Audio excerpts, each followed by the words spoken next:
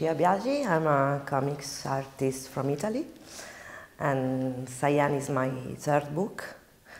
And they are also printed in Italy before, and then Çà et là translate uh, for the French people. it's really difficult to explain where ideas come from, but uh, I think it's because I read uh, a lot of these kind of books and of movies. I watch a lot of these kind of movies, and uh, I love the idea that you can work on the develop of a character, and it was funny to and very uh, satis satisfactory for me to imagine how the, the trauma changed them in the years, but cutting them, and so just choosing two moments. And all the, all the main characters, the five characters, are very traumatized but about what happened in the past. So the, they join and then they split, and they are really different in the present. So um, it was challenging. yeah. So I um, was thinking about uh, how to work on this comic book because I always worked uh, with uh, bichrome, just two colors, and I want to change it, but I was afraid of using all the palette. so I was thinking about adding just one, and then I realized that I could use the three primary, and uh, the palette is very rich, but without the black, uh, uh, it's also very bright. And, and then that combined with the idea of using the three primary for the social classes, and I realized it worked, and I was, it was very pleasant to choose also the palette, different palette for the characters. So uh, I don't know, for example, Mina has a very warm uh, palette and uh, with a lot of pink and yellow and Liv has a really uh, gray one. yeah. So uh, I, I love to work on that. Yeah. I think that I start writing the book and I didn't realize that it will be so huge.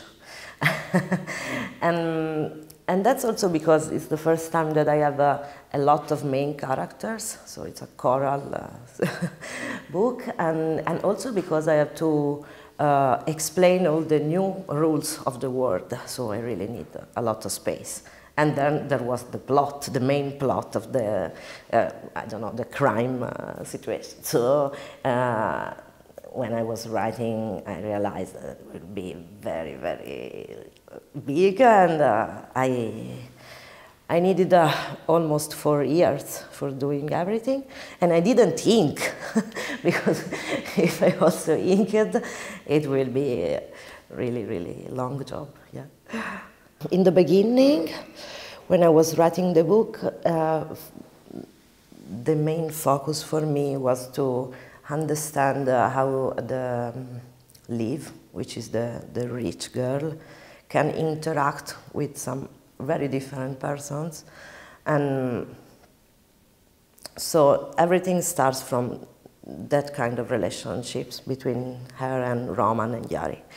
And then um, I'm really interested in this type of story. I, I think uh, I choose to use a, a, the polar plot for talking about something else, and that's a thing that I do all the time, because also my previous book was a fake polar for talking about something else, and it works.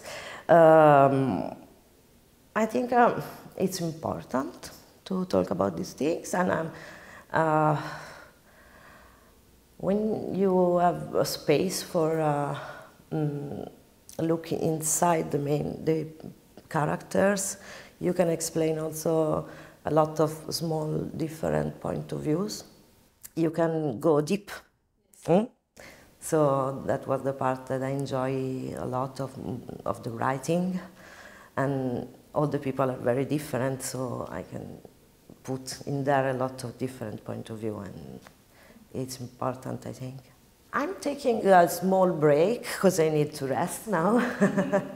and because um, I also run a comics bookshop, so I have also to dedicate a lot of time to the shops.